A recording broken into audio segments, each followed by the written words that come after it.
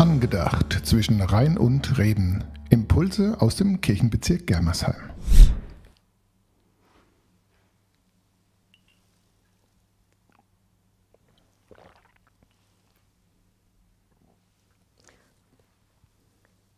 Wingardium Leviosa.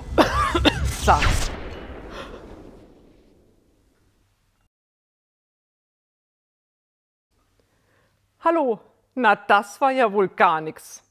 Da bin ich ja grandios gescheitert an einem einfachen Zauberspruch. Zaubern und Husten, das kann ja nicht gut gehen. Das nächste Mal passe ich besser auf, nicht, dass noch etwas Schlimmeres passiert. Warum ist uns das eigentlich so unangenehm, wenn wir scheitern?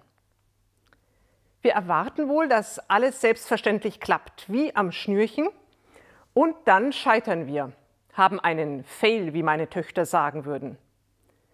Wenn wir besonders kläglich scheitern, ist es sogar ein Epic Fail. Dabei ist es die Ausnahme, dass alles glatt läuft. In der Regel müssen wir Hindernisse bewältigen, Umwege gehen oder scheitern eben. Gelegenheiten dazu gibt es ja viele. Rückwärts einparken zum Beispiel. Eine echte Katastrophe bei mir. Oder Feuerzeuge mit Flüssiggas nachfüllen. Ich habe festgestellt, es ist keine gute Idee, das über dem Waschbecken zu machen. Wenn man dann ausprobiert, ob sie wieder gut brennen, gibt es eine Stichflamme. Und es braucht echt lange, bis die Augenbrauen wieder nachgewachsen sind. Ein typischer Epic Fail. Im täglichen Miteinander mit unseren Lieben scheitern wir auch immer wieder, weil wir zu ungeduldig sind, vor allem ihre Fehler, und nicht ihre Stärken sehen und manchmal auch die falschen Prioritäten setzen. Scheitern tut uns dann besonders weh, wenn es um Dinge geht, die uns sehr am Herzen liegen. Wenn zum Beispiel die Bewerbung nicht klappt und wir den Job oder Praktikumsplatz nicht bekommen, den wir so sehr haben wollten.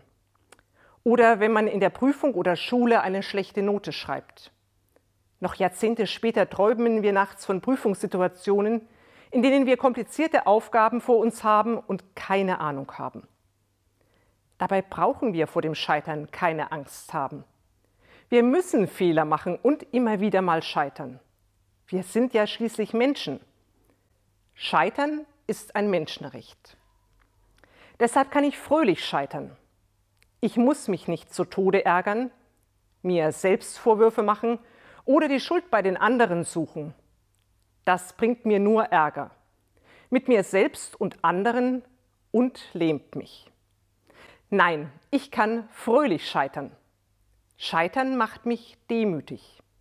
Es hilft mir, nicht überheblich zu werden und offen zu werden, offen zu bleiben für Gott.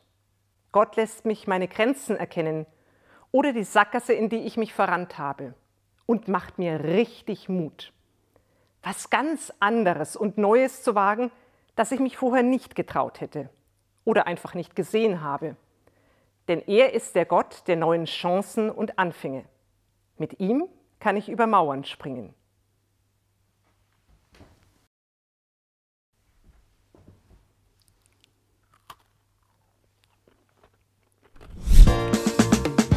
Angedacht zwischen Rhein und Reden. Impulse aus dem Kirchenbezirk Germersheim.